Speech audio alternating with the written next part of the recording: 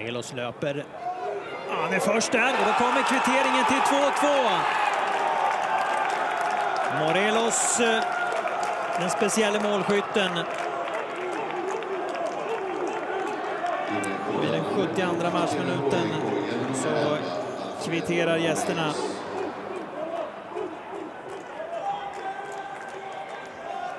Alfredo Morelos eh, gör sitt andra mål här på försäsongen. Det var också eh, målskytt mot FC Honka. Bra passning där från Tenaka och eh, Morello som löper in eh, bakom Stefan Batan.